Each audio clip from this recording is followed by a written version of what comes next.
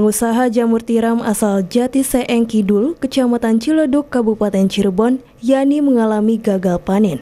Hal ini diakibatkan usahanya terkena dampak banjir air bah dari Sungai Cisanggarung pada minggu lalu yang menyapu bibit jamur dan hanya menyisakan bibit jamur yang berserakan di tanah.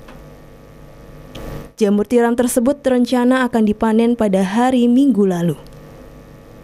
Menurut Yani, ada sekitar 2.000 bibit jamur tiram yang berserakan di sapu banjir dan mengalami kerugian sekitar 6 juta rupiah jika hanya dihitung bibit saja.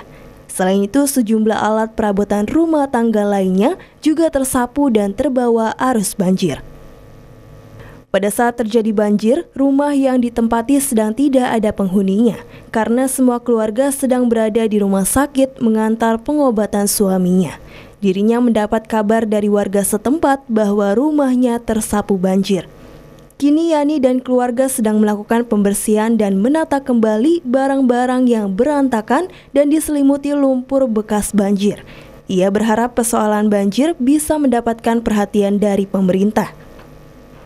Pasalnya karena bibit sungai mulai menyentuh perumahan dan tempat usaha.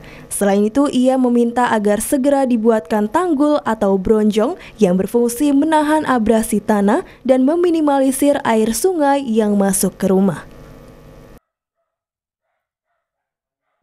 Siap panen, udah siap panen itu malah kemarin sore karena hujan terus bapaknya dirawat di rumah sakit saya pulang mau panen mau saya anterin ke pasar. Hmm. tapi nggak sempet keburu hujan gede.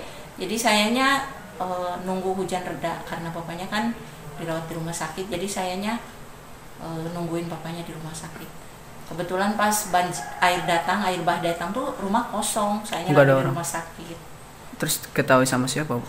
E, aparat desa RT RW sini katanya rumah saya di di dobrak, di dobrak yang sebelah e, mengamankan barang-barang yang bisa diamankan. Alhamdulillah mesin suci. Fahri Prayoga RCTV Cirebon